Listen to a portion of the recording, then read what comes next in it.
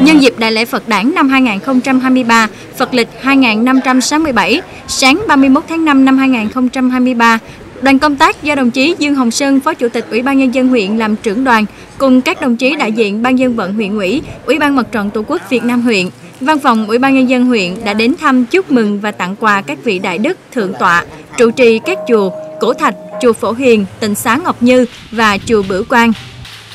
Tại các chùa đoàn đến thăm, đồng chí Dương Hồng Sơn, Phó Chủ tịch Ủy ban Nhân dân huyện đã ghi nhận, đánh giá cao những kết quả quan trọng mà Giáo hội Phật giáo huyện đã đạt được trong thời gian qua. Đồng chí gửi lời chúc tốt đẹp nhất đến các tín đồ tăng ni nhân dịp Đại lễ Phật Đản năm 2023, Phật lịch 2567. Chúc các vị tăng ni trụ trì các chùa và bà con Phật tử đón một mùa Phật Đản hoan hỷ an lạc trong tinh thần đoàn kết, hòa hợp cùng dân tộc đồng thời bày tỏ tình cảm trân trọng về sự đóng góp của Giáo hội Phật giáo địa phương trong sự phát triển của huyện nhà đã đạt được trong thời gian qua. Đặc biệt là việc tuyên truyền nhân dân thực hiện tốt chính sách của đảng, pháp luật của nhà nước và các phong trào, các cuộc vận động và công tác từ thiện an sinh xã hội. Đồng chí cũng mong muốn các vị chức sắc tăng ni tiếp tục phát huy vai trò của mình, phối hợp cùng chính quyền địa phương thực hiện thắng lợi các mục tiêu phát triển kinh tế xã hội, giữ vững an ninh quốc phòng, xây dựng khối đại đoàn kết toàn dân tộc.